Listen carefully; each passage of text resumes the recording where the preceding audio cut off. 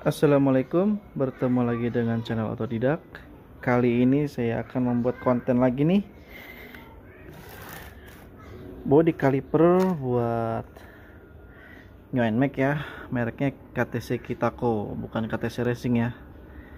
KTC Kira KTC Kitako dengan warna uh, grey. Nah, untuk kemarin itu kan saya bikin kontennya itu disknya ya atau piringannya KTC Kitako. Nah sekarang saya akan membuat konten uh, kalipernya gitu. Nah di sini udah ukuran yang 245 mili ya. Jadi ini kan piringan 245 mili. Jadi kita harus belinya yang bracketnya dapatnya yang 245 mili ya. Karena nanti beda nggak bakal masuk ya. Jadi gini barangnya. Ini saya beli di harga 625 ya segituan kira-kira dan ongkirnya ini mungkin 2 kilo ya. Ya 20-an ke atas lah gitu. Oke nah kalau bagi kalian yang sok depannya model seperti ini KTC yang model kayak gini ini kan udah beda nih bagian sininya nih. Dia bracketnya nggak bakalan masuk ya seperti video saya sebelumnya kan. Saya masang uh, piringan ini dapat bracket dan bracketnya nggak masuk ya ini harus dicoak begitu juga yang ini. Dia harus dicoak. Saya udah uh, ngukur ya kemarin. Jadi begini coakannya. Itu ini bisa kalian gerinda dipotong atau datang ke tukang bubut ya. Nah tukang bubut. Kalian bawa uh, bracketnya sama ininya kalau bisa nih.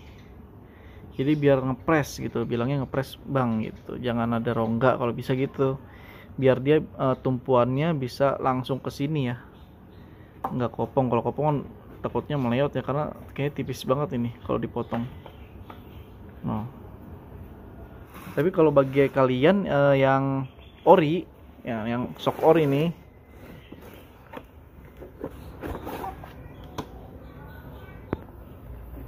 nah untuk sok ori ini bracketnya dia udah pas ya. Nah begini. Jadi dia juga sama untuk tumpuannya juga ngikut ke sini juga ya biar sekalian uh, nahan lah gitu. Jadi nggak semuanya di sini gitu kan. Nah jadi untuk kalian yang udah soknya ori bisa langsung pasang ya. Nah ini karena saya soknya udah seperti ini jadi harus ngakalin lagi. Oke sekarang kita bongkar dulu bagian sini ya Nah untuk ke bagian ini kalian gunakan kunci L bintang T50 ya.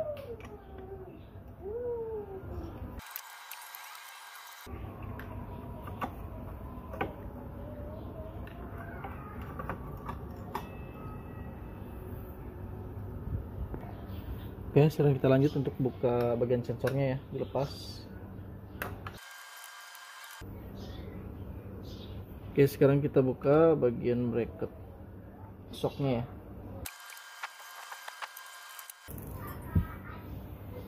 Oke ini bracketnya.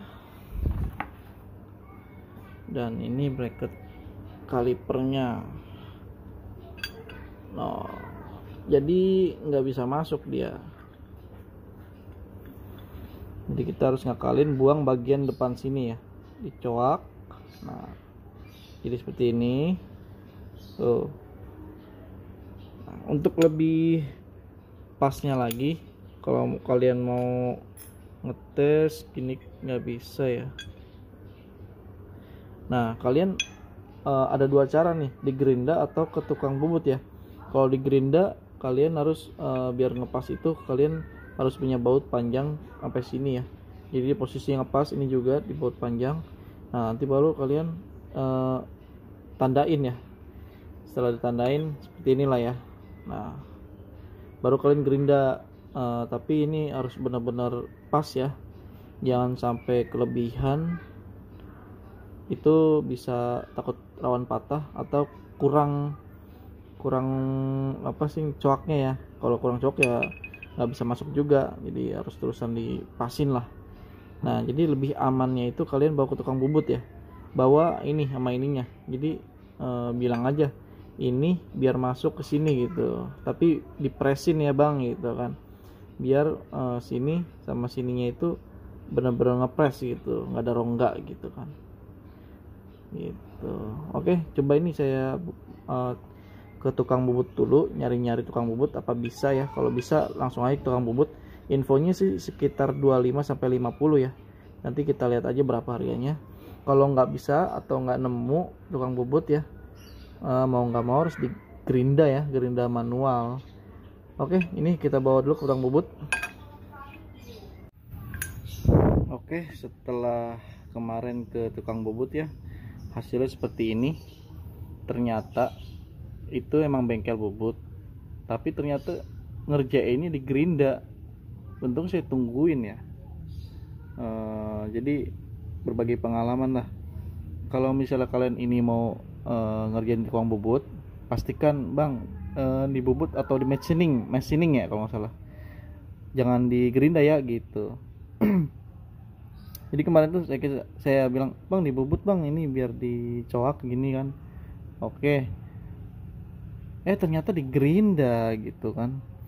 Ini juga sempat lecet tuh karena diragu sama dia kan.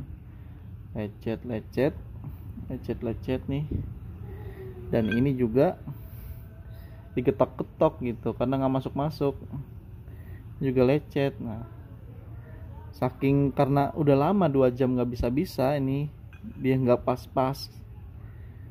Dan ini juga sempet selek nih bagian atasnya karena nggak masuk nggak pas lah ya ininya. Akhirnya ya udah bang saya kerjain di rumah aja saya rapin sendirilah gitu. Ya udah akhirnya ya udah terserah kata dia gitu.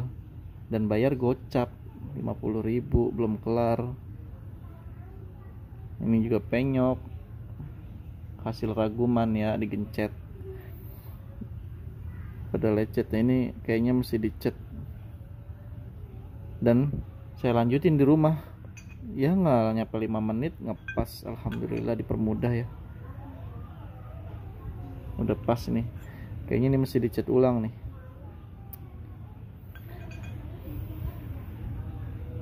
dan ini udah saya pilok ya saya cat warna hitam biar lebih rapi lah nggak ada bercak-bercak putihnya gitu Oke, sekarang langsung kita pasang aja uh, untuk kalipernya sama bracketnya ya.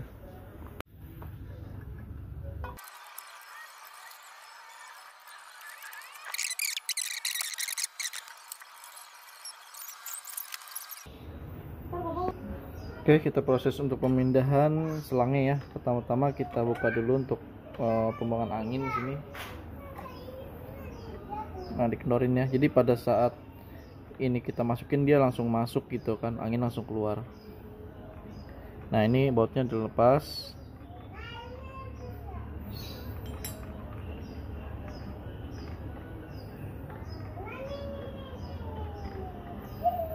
nah ini kita kasih lap ya biar nggak kena pelek cairannya yang tumpah-tumpahan nanti Oke, sebelumnya ini kalian kendorin dulu nih bautnya. Ini kan udah kendor nih.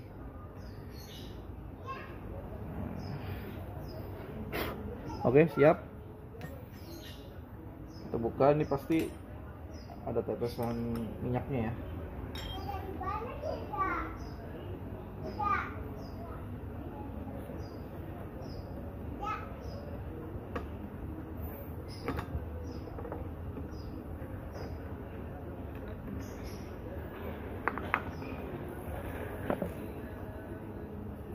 Ringnya atas bawah ya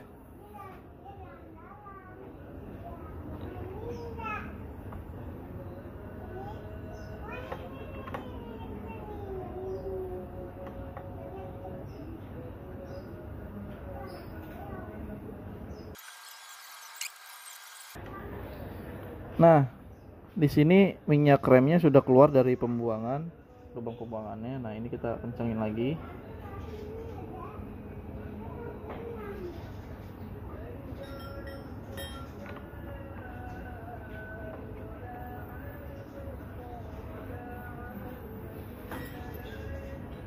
Kencangin dulu ya biar nggak ada bercak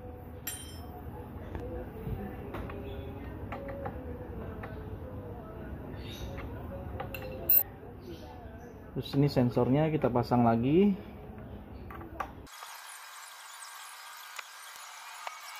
Oke selesai.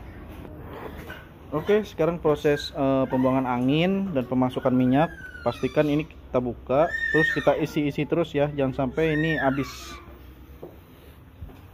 nah ini proses pembuangan angin nih. Kita dimin aja nanti juga anginnya keluar sendiri gitu kan. Tuh. Nyampe bener-bener eh, nggak -bener, ada angin lagi ya. Gitu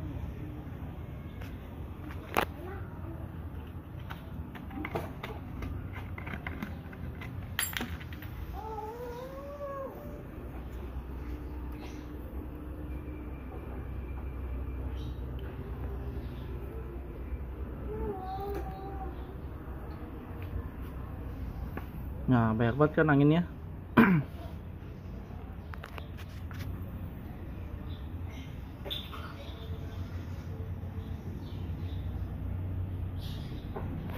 Coba kita pencet-pencet.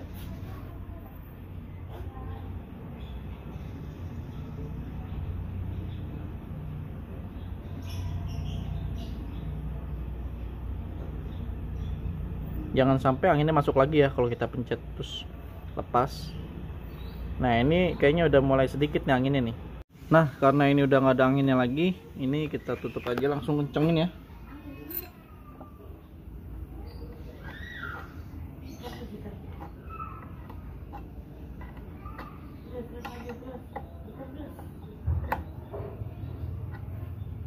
Oke, sekarang kita pompa lagi. Oke, jadi dia itu maksimal kerasnya itu pas bagian sini ya karena kalau kita pelajari itu uh, body calipernya itu kan 4 piston. Yang orinya itu kan satu piston jadi dia flownya kurang gitu. Jadi flow jadi master dari master ini tuh buat satu piston doang gitu. Kalau 4 piston berarti flownya kurang gitu ya. Jadi mau nggak mau kita harus ganti master gitu. Master KTC nya mungkin ya biar satu merek gitu. Sekalian sama selang mungkin next konten akan ganti satu set juga ya master dan selangnya. Oke uh, ini levelnya kita tambahin dulu untuk maksimal terus tutup terus langsung kita tes gitu oke